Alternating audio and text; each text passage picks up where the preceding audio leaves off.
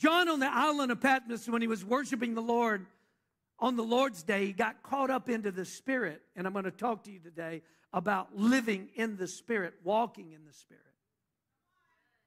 He got caught up into the Spirit and he saw an open door. Worship will reveal to you doorways that lead to greater things. He saw an open door and he heard a voice. It was God inviting him to come higher, to come through that door. When he entered through that door in the Spirit, he saw everything that we now have in the book of Revelation. But he saw angels, he saw worship, he saw all of that transpiring. That was an open door for the instruction of God, for the opportunity that God had before him. It was an open door.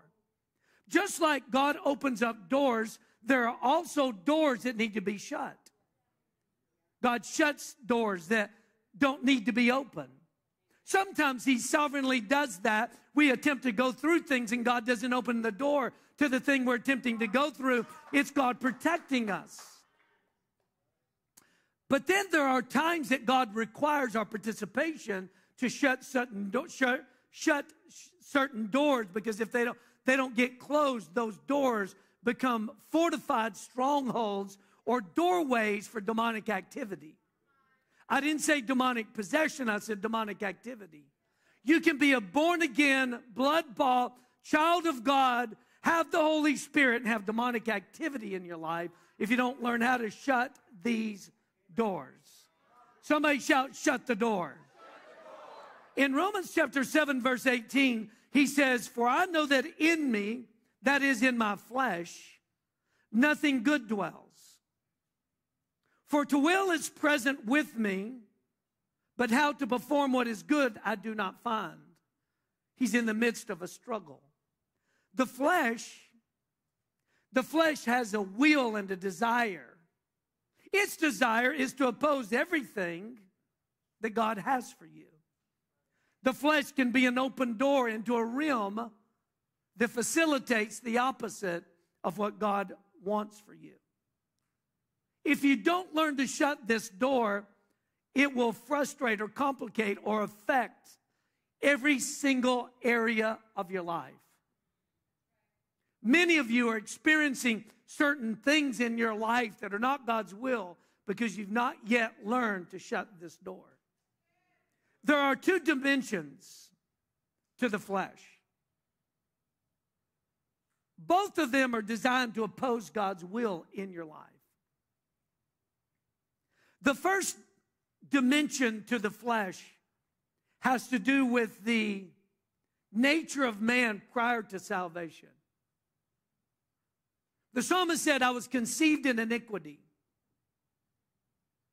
A child is innocent when a child is born, but the blood in a child is guilty. Even though the child may never have committed any sin, the blood inside the child is guilty. The iniquity, scripture said, of the parent is passed to the third and fourth generation. The Hebrew word for iniquity means bent, it means reared. It's a spiritual force. Every one of us have iniquity working in us prior to salvation. It's different for, for different families, but it's passed from generation to generation through the blood. That's why some people will behave like a parent, even though they've never met that parent, but yet they have the same mannerisms, the same decision making process. Sometimes they can go through, through some the identical situations as a parent they've never met because iniquity is working in that child. It's passed through the blood. For example, my, my family, most of you maybe already have heard this, but my grandfather was a functioning alcoholic. I, I love my grandparent, my grandparents, my grandfather. But he was uh, outside of the house, he was extremely successful, but inside the home, he was a he was an alcoholic. He was a violent alcoholic. I grew up in that environment watching that. My mother was a heavy partier. She was very successful in life as a hospital CEO. But my mother was a heavy partier. She was a hippie in the 60s. I grew up involved in that culture. I was, uh, I was somebody that struggled with addiction for 12 years, cocaine primarily. It was passed from generation to generation. It was passed through the blood. It was iniquity at work. Often, oftentimes, there were many times in my life I, I tried to actually change my life through count, counseling. There's some things you will never be able to counsel out. I went to therapy, I went to psychiatrists, I went to all these different things in an attempt to change my life, but none of it could deliver me from what I needed to be delivered from. I was able to abstain from certain behavior patterns for short periods of time, but there was this bend on the inside of me, the bend of sin. I was under the curse of sin. Everyone is under a curse prior to salvation. It's different for every single family bloodline. Some people are like, well, I, I, don't do drugs, I didn't do these things, but all of us have a bend towards something. Oftentimes we we associate our emotions with our right standing with God. Well, I'm a good person. And we base it on how we feel, what we think we didn't do, and we measure how we feel based off of what we didn't do. So we think we're good. So that in itself could be a bend towards some type of thing where you're deceived to think you're okay with God when in reality you're not. Because it's not by our works, least any man should be able to boast. And no man, no man, no man will ever be able to be good enough to be able to qualify for the righteousness of God within himself. It's not something that you obtain by what you do, it's what you receive as a result of putting your faith in Christ. Righteousness isn't obtained, righteousness is received. And and so I had this iniquity working on the inside of me. I was under the curse and I tried to change my life and couldn't change my life. But when Christ came into my life, it delivered me from the nature of sin. Salvation is deliverance. It's deliverance from the curse. Oftentimes we try to get out of a man what can only come from Jesus. Now, God will use men, but it's Christ that does it. Jesus is the only person that can deliver you. He has finished work on the cross, and by the shedding of his blood, by his life, his death, his burial, his resurrection, he is the only one that can do certain things for us. He's the only one that can redeem us from the curse, deliver us from the curse. Whoever calls on his name shall be saved, shall be delivered, shall be set free, shall be redeemed and made whole. So he is the doorway into the kingdom of God, into salvation, into relationship with God. There is no salvation in no other name, other person, other thing, other religion. There's only salvation through Jesus, deliverance through Jesus. And so he delivers us from this sin nature.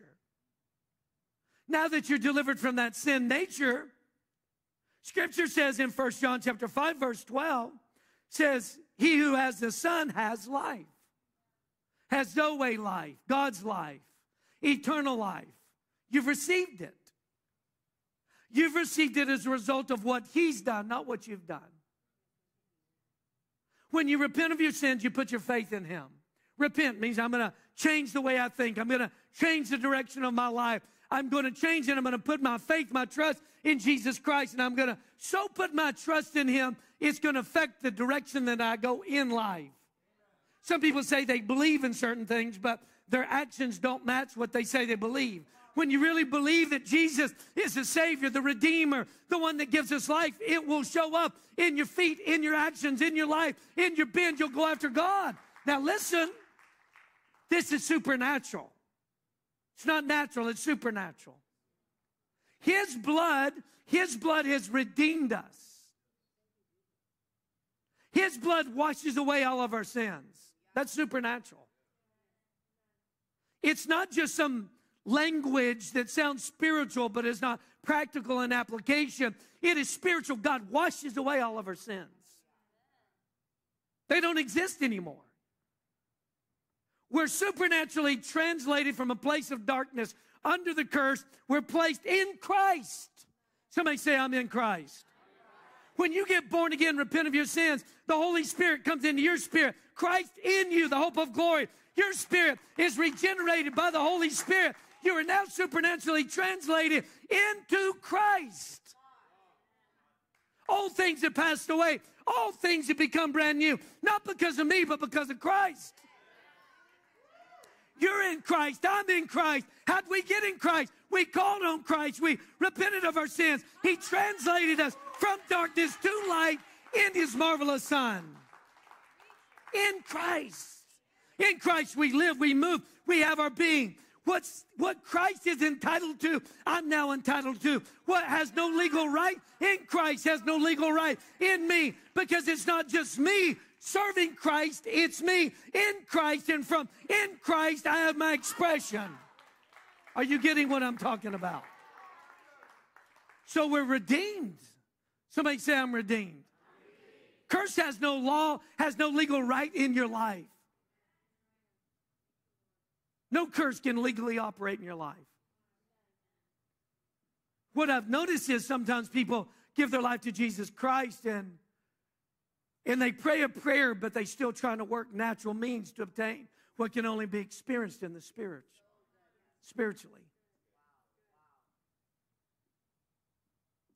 So the second dimension of the flesh, first dimension has to do with not being born again. When you get born again, we are set free from the curse.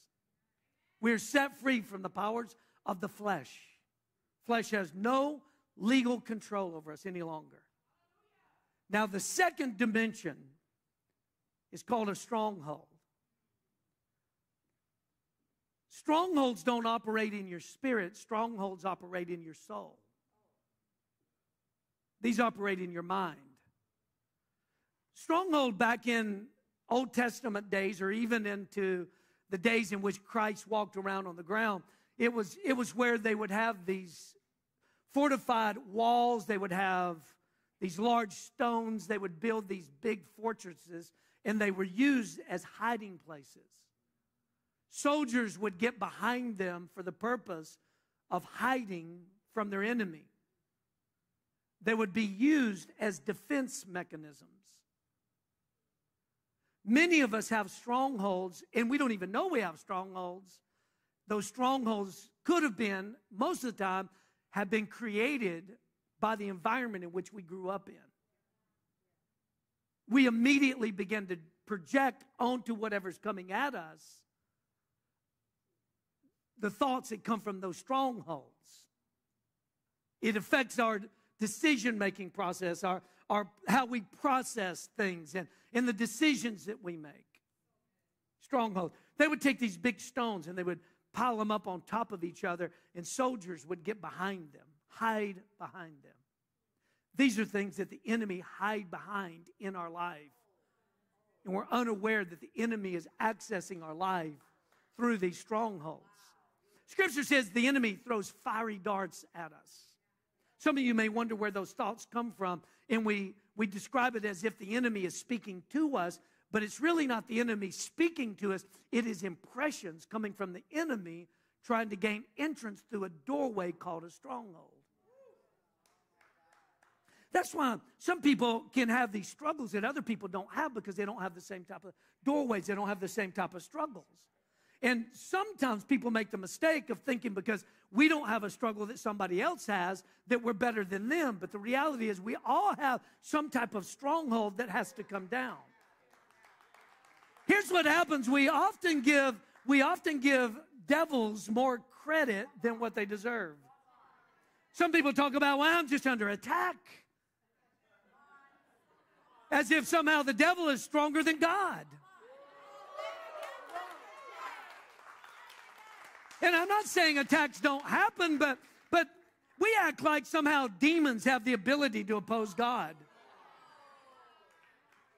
Demons can't oppose God. Have you not read the book of Revelation? With one word from his mouth, he's going to scatter them into a million pieces. Now, here's how here's how the opposition happens. Because they are no they are no they're no force to oppose God. And they know that. So what they try to do is hide behind strongholds in you to get you to oppose what God desires to do in you. It blows me away at what some people believe. They project onto situations certain desired outcomes and they'll try to spiritualize it, but it's either Bible out of context or not in the Bible at all, but they'll say it's in the Bible. I, you know, the Bible says. I'm like, I've never read that in the Bible.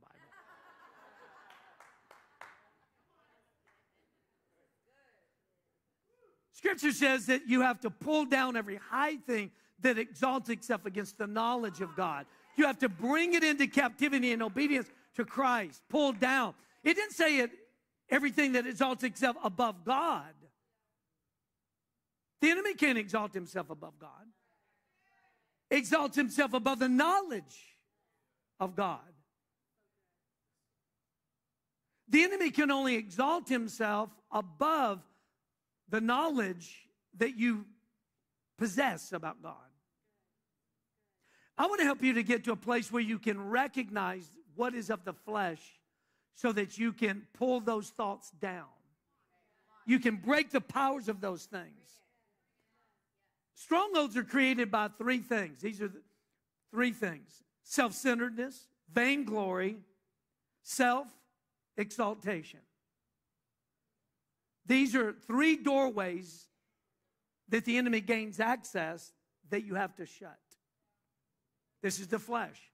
How do you close these doors? Right here, I'm going to give you. Galatians chapter 5, verses 16 and 17. I say then, walk in the Spirit. Say, walk in the Spirit. Walk in the Spirit, and you shall not fulfill the lust of the flesh. For the flesh lusts or wars against the Spirit, and the Spirit against the flesh. Scripture says, no good thing dwells in the flesh. Nothing good will ever come out of your flesh. You will never find a solution to a spiritual problem out of your flesh. You will never accomplish a spiritual outcome from your flesh. No good thing comes from our flesh. Our flesh wars, it opposes, it is against everything to do with God and God's will for our life. These are things that the enemy uses as doorways to give us these impressions. The enemy impresses upon us certain thoughts. The only limitations that there are in life are the ones that you create within yourself. Where the Spirit of the Lord is, there is liberty, there's freedom. We have been given freedom in Christ. We are free, but yet many of us are walking around bound because we have open doors we've not yet learned to shut. When we close them, we'll experience greater dimensions of freedom. We'll begin to operate and we'll be more sensitive, operate in the Spirit, be more sensitive to the Spirit, have greater revelation, divine insight, wisdom, and instruction from God.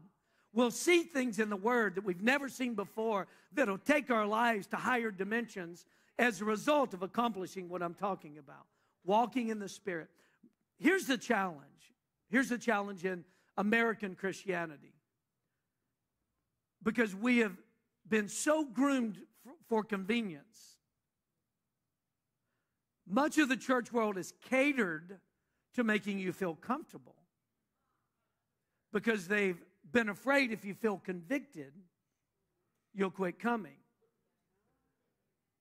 So rather than allowing God's word and his spirit to convict us of sin and righteousness, we've catered to people to feel comfortable and therefore left them in a condition where they're never experiencing transformation. They look more like the world than they look like Christ. There seems to be little difference in them from the first day they got saved to five years later. Character has experienced little, very little transformation. Prayer life hasn't changed very much at all. Still praying about how I'm going to be taken care of, how I'm going to be lifted up, how God is going to favor me. And God only gives you favor for purpose, He doesn't give you favor for status. And, and we, we want God to lift us up, and we want God to pamper us, and we want God to take care of us. we stay stuck in an infancy stage in terms of our spirituality because we've not learned to shut the doors to our flesh and it's all about vainglory. It's never about getting rid of the flesh and living our life for our divine assignment according to the will and the plan and the purpose of Almighty God.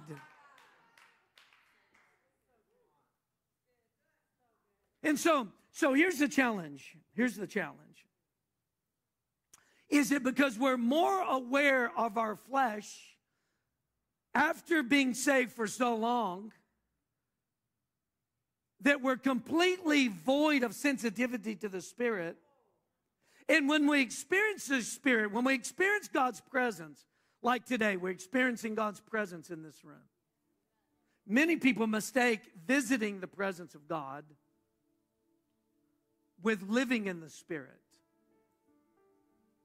You can experience the glory of God and not live or walk in the Spirit. God is really not interested in visitations. Angels visit, God isn't interested in visits. God is more interested in invasions. He doesn't want to come and visit you, He wants to inhabit you.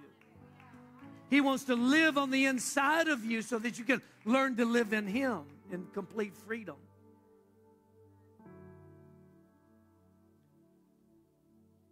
So, as you identify these things that exalt themselves above God's will, above the things that God says are for you, when, when you experience these thoughts, these emotions, rather than opening up your mouth and coming into agreement with it, you begin to war against it because the spirit wars against the flesh. It's not always a devil, sometimes it's within me. And I got to pull down the doorway that the enemy is hiding behind. Because when you shut the door, the influence of the enemy goes away. Some of the things that I used to have impressions to do, had a bend to do, once I shut the door, I'm no longer tempted. There's no impressions to do it. I can think about others that engage in it, and it doesn't do anything to my emotions because the door has been shut. The sin nature has been broken. I've been redeemed. You've been redeemed as a result of the shed blood of Jesus Christ and the work of, that He did on the cross. There's a difference between why He shed His blood and why He died on the cross. To save you, all he had to do was shed his blood. He could have done that on any street, on any corner. He could have allowed any soldier of the enemy to kill him and his blood be shed, and it would have been sufficient for our salvation. Without the shedding of blood, there is no remission of sins. There was a specific reason he got on the cross. The cross was re- to redeem us from the flesh, from the curse of the law. Leviticus said, Cursed is a man that hangs on a tree. Galatians said that Christ became a curse for us on the cross so that we could be free from the curse. So the sin nature is broken. Strongholds have no legal right. But I have a responsibility to pull those things down and shut the door. He tells us how to do that. And As we learn to do that, we get more sensitive to the Spirit. We begin to walk in the Spirit. Most people live in their soul, they never learn how to live in their spirit. We can memorize scripture in our soul, but it never helps us to open up our spirit. God is searching for those who will worship Him in spirit and in truth. No good thing will ever come from your flesh. In Colossians chapter 3, verses 1 and 2, he says, For then you were raised with Christ. Seek the things which are above. Seek the things which are above, where Christ is sitting at the right hand of God. Set your mind on the things above, not on the things of this earth. Say this with me. Say, I'm setting my mind on things above. Most people spend all of their time talking about, praying about, thinking about things that are temporal. Very little bit, very, very little of what we say has to do with things that are eternal. Our words connect us to the spiritual world. Our words facilitate what operates in our life.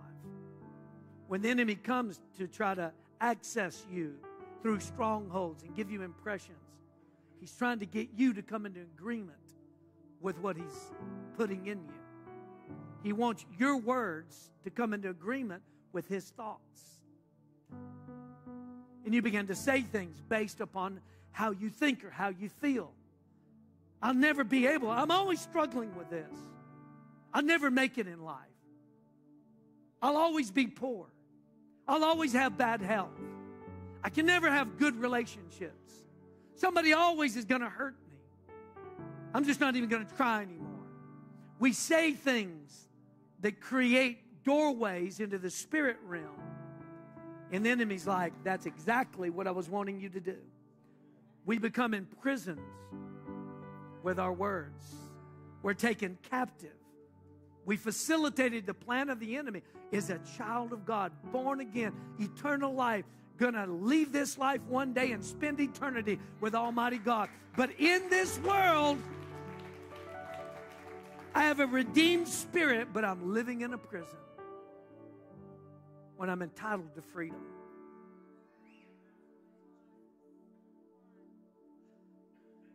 When you recognize the thoughts that are coming from the enemy, you have to grab those things. The spirit wars against the flesh.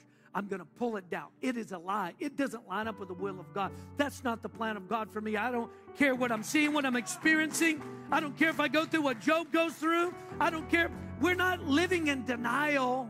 We're not living in denial. We're not saying these things are happening.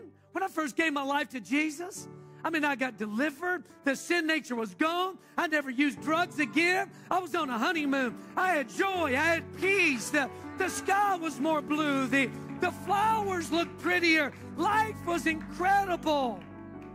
Then one day God said, There's things in you you don't know that are in you. But until we deal with those things, you cannot become who I've destined you to become. So now, rather than living life in a state of a honeymoon, now it's time for you to work out your salvation. Work out. Work it out. Work it out. What's in us in the Spirit, work it out. Very rarely do I ever look at the thought of or think about going to the gym with excitement. Very rarely do I have to I typically have to tell myself I'm gonna I'm gonna make myself go to the gym. I enjoy it when I come out. I don't look forward to it on my way there. Work out your salvation what's in you. The position you have, work it out. The freedom that you've been given, work it out. How do I work it out? By setting my mind on the things of God. When the enemy tries to come against me, rather than allowing it to wreak havoc in my life and to control my thinking, my behavior, my emotions, and what I do in life. I don't want to do this. I don't think, I, I don't like this. I don't want to be this. Rather than just playing out the scenario over and over again you begin to take authority. You begin to take control. You begin to war in the spirit. I break that. I pull that down. That's no longer part of me. That's not part of my identity. I don't think like that anymore. I don't behave like that anymore. I don't live like that anymore. And as a result of that, you begin to experience little by little life getting better. Your relationships get better. Your life with God gets better. Everything begins to get better. You begin to have joy that's lasting. It's eternal. It's in the spirit. You begin to have peace that comes from God. God begins to do things in your life and through your life that you would never imagine. You know, you become somebody you would never thought you could have become. You become somebody, you'll wake up one day in your life. How did I become this? I'm so happy that God's done this in my life by the grace of God. By the grace of God, the Spirit of God, the power of God. When we shut these doors, it opens up a brand new door to life in the Spirit. Some of you can never imagine that you would ever become who you are right now. Stop and think about where you are. The vast majority of you in this room would have never imagined yourself being in a church, worshiping God, owning a Bible, and serving the Lord. Look at you right now. But where you are is not where you're going to stay. You're going to go so much further. Christ has so much more for you. Eyes have not seen, ears have not heard, nor has it entered into the heart of man the things that God has prepared for them that love Him, but by His Spirit.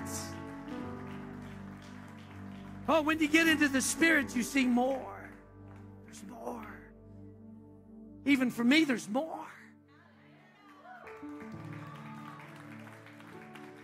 There's more. Want you to stand. I want to pray over you. Close your eyes and let's pray for a moment. Lord, in the name of Jesus, we come before your throne right now. Every stronghold, we pull it down. Every lie of the enemy, we pull it down. Every unhealthy way of thinking we picked up in life, we take authority over it, we pull it down in the name of Jesus. Strongholds come down. Begin to pray, strongholds come down. Say this, say, strongholds come down. Say that, say, come down in Jesus' name. I pull you down in Jesus' name. I pull the lie down in Jesus' name. Stay in this moment of receiving. Some of you have allowed certain things to happen to you because you believed the lies that have become strongholds in your mind. That's why some of you allow people to abuse you. That's why some of you are codependent. That's why some of you are enablers because you believe the lie. Things are coming down. The lie's coming down. You're not controlled or defined by your current condition. What's going on in your world, your family, when you leave here, you're not controlled by those things. Those things don't control you. God Almighty control your future.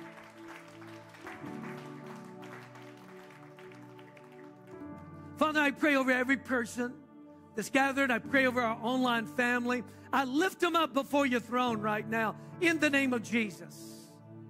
Lord, I pray that your truth, the Spirit, and the Word would prevail in our thinking. Lord, right now by faith, we shut the door to self centeredness. We shut the door to vainglory. We shut the door to self exaltation. We shut the door in the authority of Jesus' name. We get rid of our flesh and we say yes to the Spirit. We say yes to the plan of God. We say yes to the will of God in the name of Jesus. In the name of Jesus. While your heads are bowed and your eyes are closed, you're in this room and you're not right with Jesus. You've never, you know, you haven't, you haven't been saved. You've never given your life to the Lord. I want to help you to do that today. If you've drifted away from God, if you're not where you should be, where you're supposed to be, when I count to three, I want you to raise your hand and we're going to pray. We're going to open our hearts. We're going to receive eternal life, forgiveness from Jesus Christ. On the count of three, lift up your hands. One, two, three. Raise it up, raise it up, raise it up. Keep it up, keep it up. I see your hands going up. I see hands being raised right now.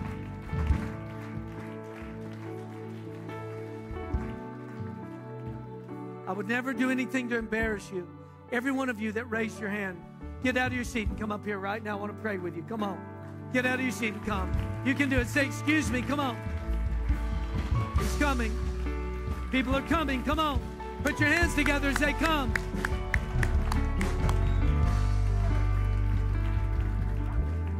While they're coming, I want you to look at the person beside you. Sometimes people need help. They want to come, but they're afraid and they just need a friend to help them. Turn to the person beside you and ask them, Do you want to go? If they say yes, say, Come on, I'll go with you. Come on, somebody, help them up here. Where's our team? Help them up here. We want to get better at helping people right here during this time. I don't know what we got to do. We want to get better helping people right here. We don't need to let people try to figure it out themselves. So beautiful. So beautiful. So beautiful. Come on, God's cleansing people. God's washing people. Somebody's coming right here. Somebody's coming right here. Do you want to come? Come get right here. Come get right here. Come on. Yes, you can. You got it. Come on.